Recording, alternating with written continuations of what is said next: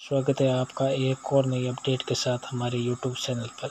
दोस्तों, आज की वीडियो के अंदर हम बात करेंगे कि बेरोज़गारी भत्ता रिन्यू के बारे में, यानी कि आप सभी को पता है कि अक्टूबर माह के अंदर जिनका भी बेरोज़गारी भत्ते का फॉर्म तो रिन्यू तो कराना होगा, उनको एस एस आई डी पर रिन्यू का मैसेज आ गया है।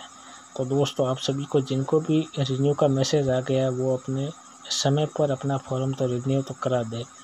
क्योंकि दोस्तों, अगर एक बार आपकी लास्ट डेट ये चली गई तो ये दोबारा लास्ट डेट नहीं आएगी, क्योंकि अभी तक जुलाई के जितने भी तो बेरोज़गारी भत्ते से जिन्होंने अपना बेरोज़गारी भत्ता का फॉर्म तो रिन्यू नहीं कराया था, वो सभी अभी उनका फाइनली बेरोज़गारी भत्ता तो आगे का तो बंद हो गए तो इसीलिए आप समय पर अपना फॉर्म तो रिन्यू तो करा दीजिए, क्योंकि रिन्यू तो कराने के लिए हमें तो इनकम सर्टिफिकेट बनाना होता है।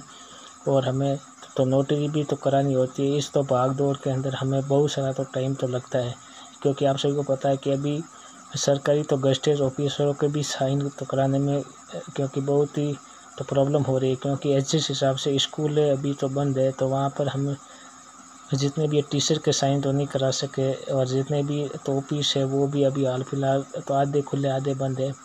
इसी हिसाब से हमें तो इनकम सर्टिफिकेट बनाने के अंदर ही तो प्रॉब्लम आती है। तो इसी कारण आप समय रहते अपना बेरोज़गारी भत्ते का फॉर्म तो रिन्यू तो करा दीजिए, क्योंकि वो आई और तो के फॉर्मेट तो भरने में बहुत सारा टाइम लगता है। तो इसी अपडेट के साथ मैंने आपको ये सूचित करने के लिए वीडियो बनाई कि जिनका भी बेरोज़गारी भत्ते का फॉर्म अक्टूबर माह के अंदर तो रिन्यू कराना होगा, वो अपना जल्द से जल्द फॉर्म तो रिन्यू करा दीजिएगा। नहीं तो आपका अगर एक बार तो लास्ट डेट चली गई, उसके बाद आपका कुछ भी नहीं होता है। तो मैंने तो इनकम सर्टिफिकेट बनाने के लिए आपको दो सरकारी ऑफिसरों के साइन सहीजिएगा। उसके अंदर आपको अपनी तो इनकम और जितने भी वो तो जानकारी वो फिल करने को वो है, वो सभी डिटेल आपको एकदम वो सही तरीके से भरनी होगी। उसके अंदर आपकी जो भी इनकम है, वो दो लाख से आपको ये कम तो दर्शानी होगी। उसके बाद आपको ये नोटरी करानी होगी, जो आपको वो डिस्ट्रिक्ट तो ऑफ़िस पर मतलब जितने भी स्टाम्प वाले बैठे हैं, वहाँ पर आपकी नोटरी हो जाएगी।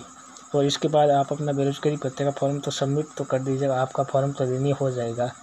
आपको बस अपनी एस एस पर बार बार ये शेयर करना है कि आपका ये मतलब सबमिट तो और सबमिट होने के बाद आपका फॉर्म तो वेरीफाई हो जाए, क्योंकि रिन्यू का फॉर्म भी तो बैक तो बहुत बार आ जाता है।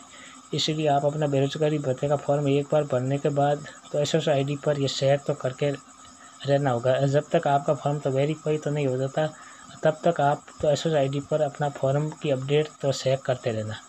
उम्मीद करता हूँ दोस्तों वीडियो जानकारी आपको अच्छी लगे। वीडियो पसंद आए तो वीडियो को लाइक ज़रूर कीजिएगा। अगर आप चैनल पर नहीं हैं तो चैनल को ज़रूर सब्सक्राइब कीजिएगा। थैंक यू दोस्तों